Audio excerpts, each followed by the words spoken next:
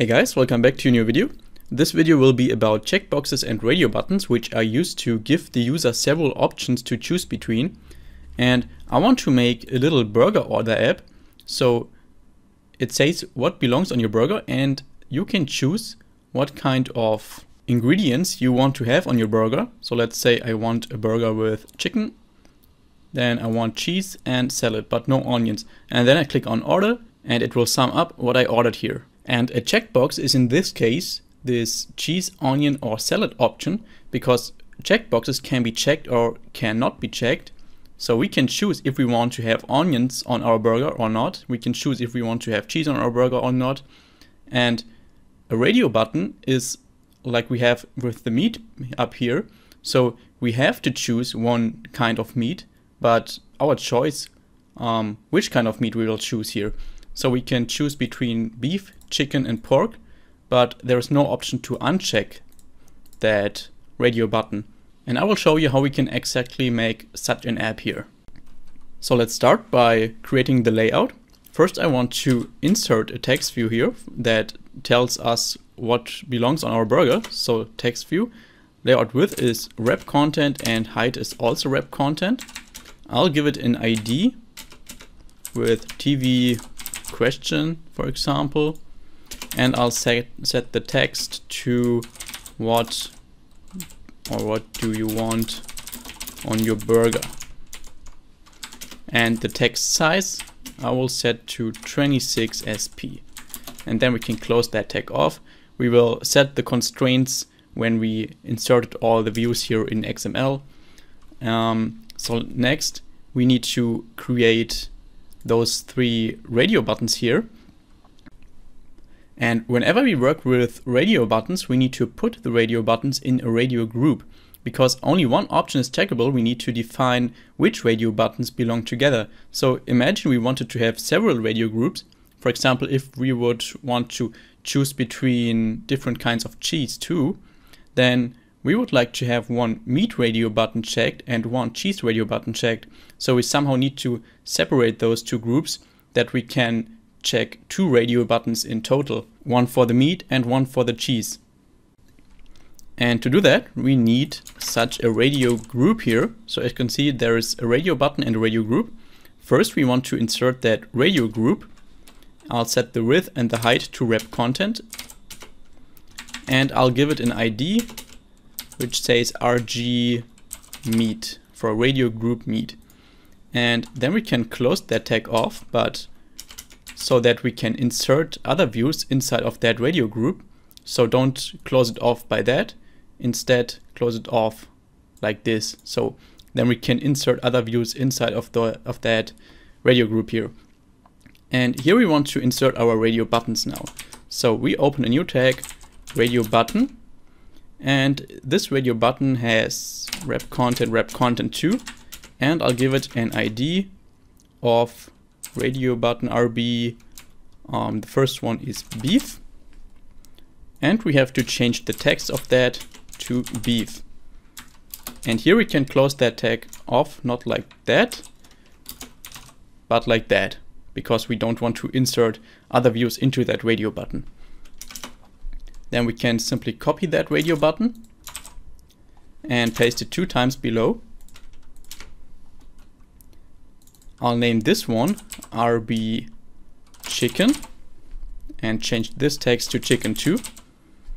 And this one is finally RB pork and change this text to pork 2. And if we now take a look in that design tab here, then there's our radio group meat and our TV question. Let's take that group and drag it a little bit down there. And then you can see that currently our radio buttons are below each other. So they are aligned vertically. But in my example here, I aligned them horizontally. And this is actually the same as it is for a linear layout where we can choose the orientation of that layout. The same, we can go to the text tab again, go into our radio group and add the attribute um, orientation and we can set it to horizontal here. And if we now take a look in that design tab, then you can see the orientation changed to horizontal. Next, let's add those three checkboxes for the cheese, the onions, and the salad. So let's open a tag here and create a checkbox. For those, we don't need a group because they can either be checked or unchecked. So the width is wrap content and the height too. I'll give it an ID of CB cheese. And the text, of course, says cheese too. And that's it. Then we can copy that che uh, checkbox again.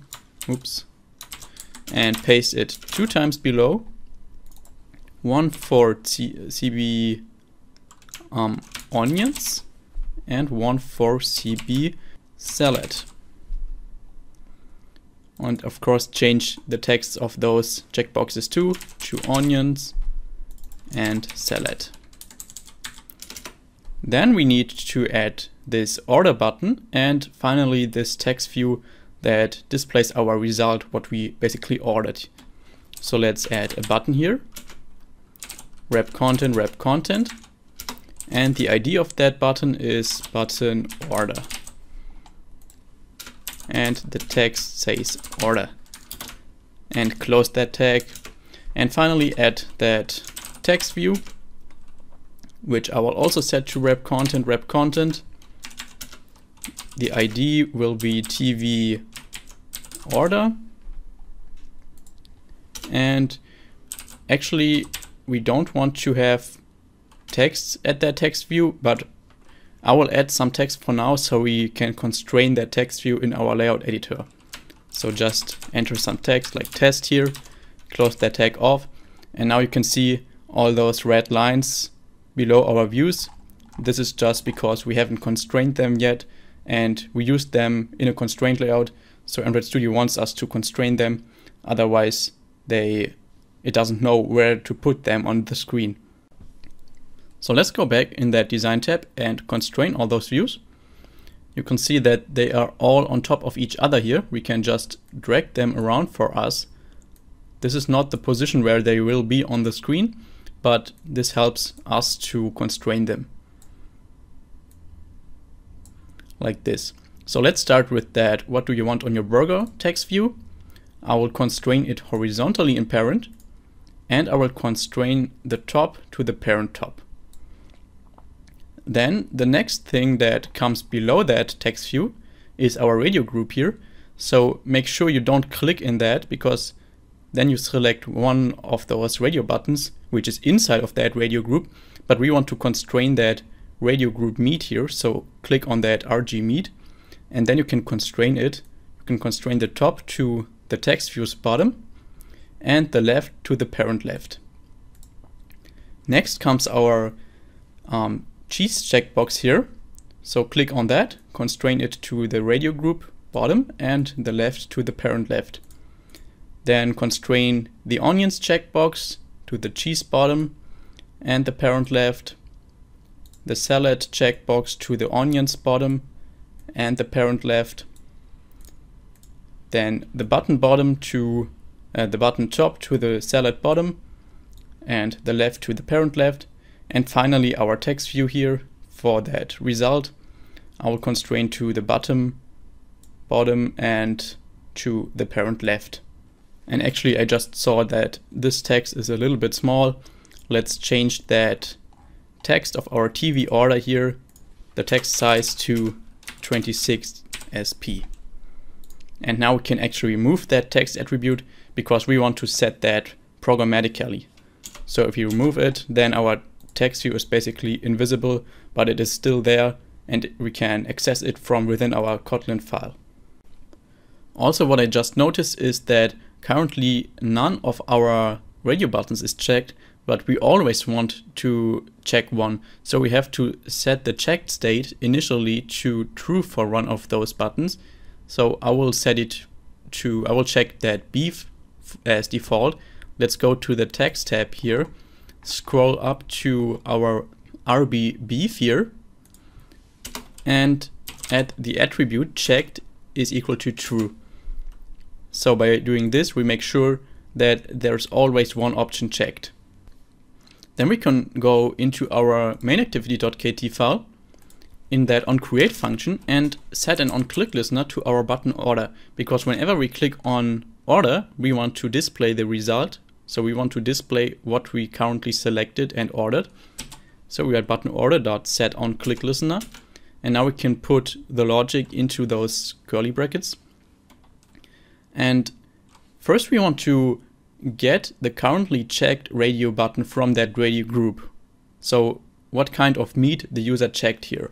And we could do that by writing several if statements that just check whether that beef option is checked or that chicken option is checked or finally the pork option is checked. But that's a lot of code and there's actually an easier option to um, solve this problem. And this is by getting the currently checked ID from the radio group. So there is an option. Let's save that in a variable. Checked meat radio button ID.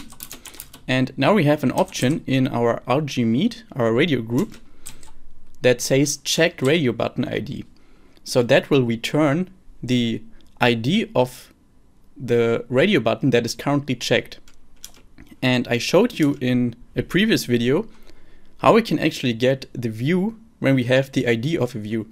And we can do that with the find view by ID function. So we can write val meat is equal to find view by ID.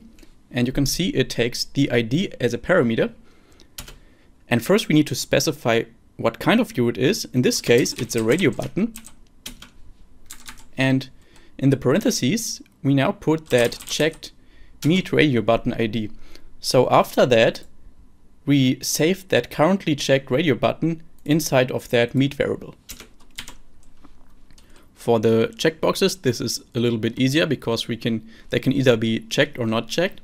So let's write val cheese is equal to um, cb cheese dot is checked. So by calling the the checkbox and the is checked variable, we can get the current state of that checkbox. So if it is checked or not. Then we can do the same for the onions is equal to cb onions dot is checked. And finally, val salad is equal to cb salad dot is checked. And now we can actually create our string that we want to set to our result text view. Let's write val order string is equal to. And first we want to insert you ordered a burger with. Then add a backslash n here, which just says that we want to have a line break after that. So it's the same as you would just press enter in a text view. Then after that, I'll make a line break here too. So it is a little bit more clear what I write here. We want to insert whatever the text of our checked radio button meat is. So if you take a look here, if we check that chicken radio button, for example, then the meat variable holds the current instance of our radio button chicken. And if we get the text of that radio button, which is chicken, then we have exactly the text that we want to insert here in our order string. So let's click into those curly brackets here and write meat.text. Then we can check if cheese, so if cheese is checked, then we want to insert that cheese string with a line break before that. So it is inserted in a new line. So backslash n cheese. And if cheese is not um, checked, so in the else case, we just want to um, insert an empty string. Basically, we just want to skip that case. Then make a plus after that again and check if onions is checked. If it is, then backslash n onions. So make a line break and write onions.